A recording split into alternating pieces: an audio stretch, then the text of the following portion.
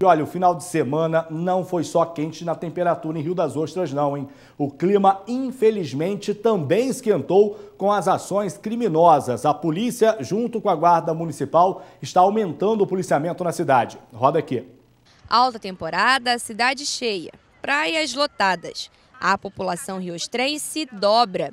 Esse ano, só na noite de Réveillon, são esperadas 250 mil pessoas. Com isso, a ação criminosa tende a aumentar. Na tarde desse sábado, um homem foi morto e o outro ficou baleado nesta rua, no centro da cidade, em plena luz do dia. Os homens teriam envolvimentos com o tráfico de drogas. No domingo, um desentendimento no estacionamento de um supermercado assustou os moradores. Um taxista reclamou com o motorista que fazia transporte irregular no local. O homem então tirou uma arma e efetuou quatro disparos para o alto. Ninguém ficou ferido. O homem foi identificado como suboficial da Marinha e está preso. O município tem feito um trabalho ao longo de todo o ano para coibir a ação criminosa através de parcerias com a polícia. E a gente oferece uma estrutura para eles e eles é, é reforçam o efetivo é, em nosso município.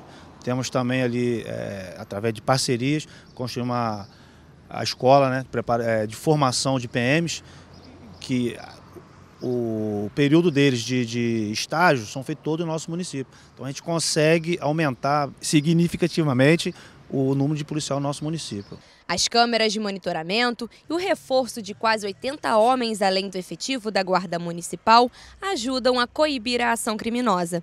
Mas a população também deve ficar atenta e se prevenir e denunciar, né, que é o principal é o denunciar. Denuncie, é, ligue para a PM que eles vão atuar, ligue para a guarda, que for de competência da guarda, nós também vamos atuar para ter um verão aí tranquilo. Isso aí tem que aumentar mesmo a segurança lá na região dos lagos, principalmente nesse momento de alta temporada.